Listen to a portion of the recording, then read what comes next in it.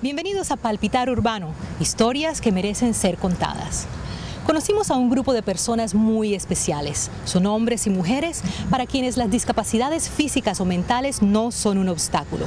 Ellos nos van a mostrar su valioso trabajo, pero su mayor aporte viene precisamente de esa actitud ejemplar de superación que poseen. Palpitar Urbano les trae la historia de Log Cabin, un vivero en el que se siembran las semillas de la esperanza y del valor inconmensurable que encierra cada persona. La tierra siempre será fértil, porque hasta en los más áridos desiertos el coraje del hombre ha logrado con sus manos dar vida a oasis radiantes. Pues bien, en Log Cabin, un vivero especial en el que trabajan personas con discapacidades, crecen también oasis, ejemplos fructíferos de lo que puede hacer el ser humano cuando se siente útil, valorado. En el corazón de esta gente nace a diario la valoración y el reconocimiento. Ellos son como un campo fértil en el que se ha sembrado una semilla de esperanza que germina para luego convertirse en un fruto que no es más que el resumen de su esfuerzo. La síntesis de sus grandes cualidades es la manera de demostrar que cuentan para el mundo, que no necesitan del pesar y la sobreprotección de otros. Es la mejor forma, mediante el trabajo, de mostrar su propia independencia. Ah, me siento bien aquí, feliz, ayudando a la gente. Aquí estoy bien calmado y gente no está, como el trabajo que yo tuve, no está arriba de ti gritándote por tu oído, diciendo cosas feas a ti, adelante, a, no, adelante de tipo, diciendo cosas atrás de tu espalda y le puede cosas así feas y eso me, me molesta.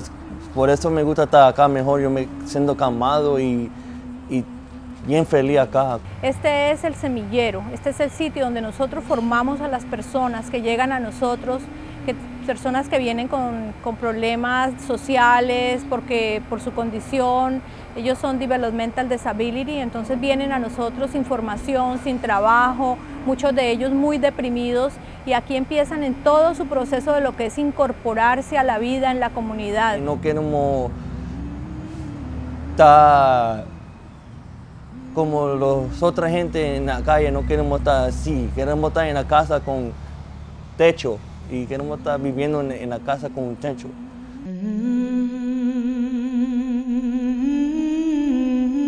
Con su laborioso trabajo en Love Cabin, este grupo de personas, aparte de la satisfacción monetaria que les garantiza su sostenimiento, ellos reciben también algo que vale mucho más que el dinero, la valoración de los demás, la dignidad que solo da la voluntad de superar los escollos y la adversidad. En Love Cabin todos cuentan, no importa su limitación, su contacto con la tierra es como un acto de sanación en el que el espíritu de superación se eleva llevando consigo a un cuerpo físico en el que no existe el cansancio y cada gota de sudor y de esfuerzo es verdaderamente gratificante.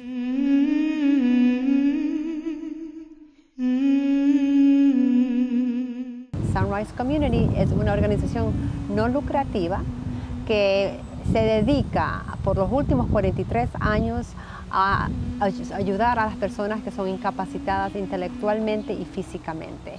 ¿Y eso qué quiere decir? Eso quiere decir que ayudamos a personas que tienen retrasos mentales, autismo, eh, síndrome de Down, a que vivan una vida total y digna como cualquier otro nosotros. Nuestros, nuestros clientes tienen tanto gusto en trabajar y se sienten tan útiles y lo hacen con, tanto, con tanta gana, uh, un trabajo que a veces es muy muy aburrido para para los demás, pero para ellos es muy, muy importante.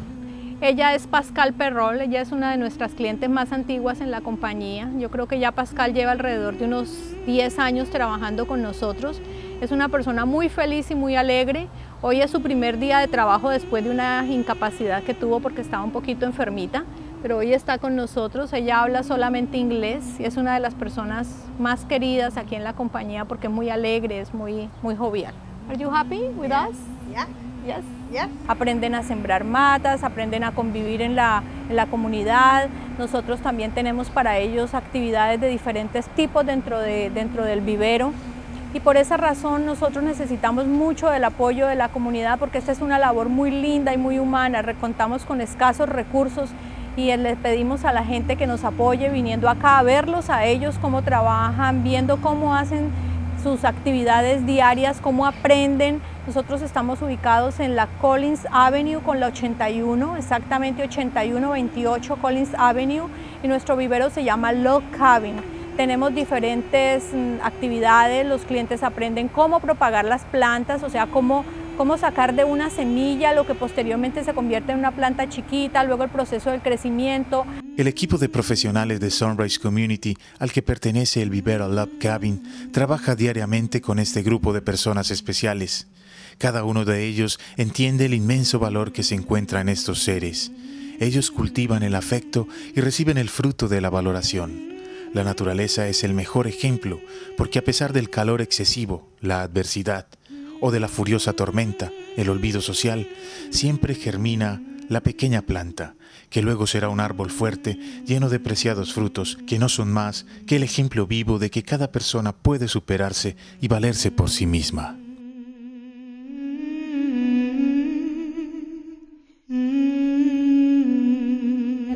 Que es trabajar con personas para las cuales la palabra discapacidad o deshabilidad no existe.